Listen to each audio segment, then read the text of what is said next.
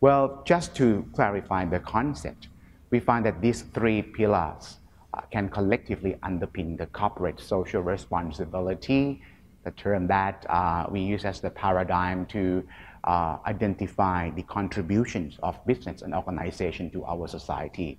And we try to make sure that we balance this so-called triple bottom line or TBL. Right? The concept of the TBL will help us to look at the long-term corporate sustainability.